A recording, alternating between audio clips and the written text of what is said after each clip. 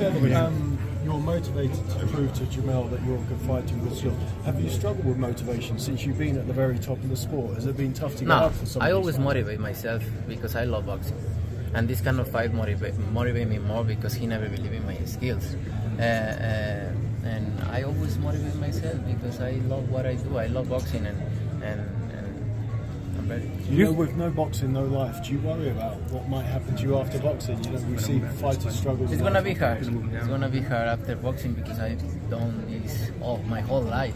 But uh, you know, I have my business and I have my family. I need to enjoy. But uh, right now, I'm enjoying boxing because I'm young and fresh and I feel fucking good. Hey, Champ, you said you said everyone that went from 147 to 54 is bigger than you, and uh, does that mean that there's a chance we can see you fight at 154 again, maybe against uh, Terrence Crawford? One, I think well, I can make 154.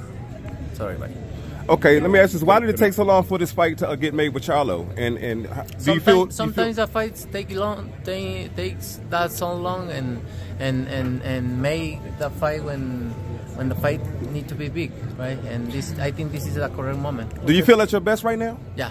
It's the right. This is the right time, right? This is the right time. Champ, did you, did you hear? Did you hear? ¿Eh? Usted está sorprendido que no está hablando mierda. Sí, fíjate que siempre ha hablado mucho y es de esos peleadores que habla mucho y en esta ocasión no, pero al final de cuentas hay que mostrar el sábado, ¿no? You think the moment is getting to him? Ya. Hey, Champ, how, how do you feel? How do you feel about? We've ever been in for a fight because you're smiling more, more fan Yeah, you know, buddy, I feel confident, I feel good, I feel in my 100% and that made me feel happy. That made me feel confident because, you know, when you come, you train in the 100% and you feel confident, that's all matters.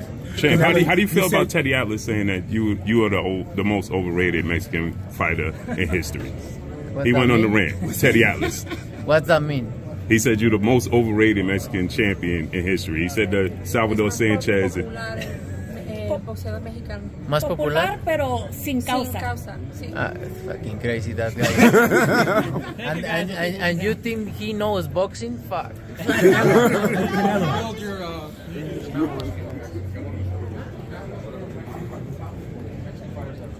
Ah, Julio César Chávez, em, Gilberto Román, eh, Salvador Sánchez, Say yourself.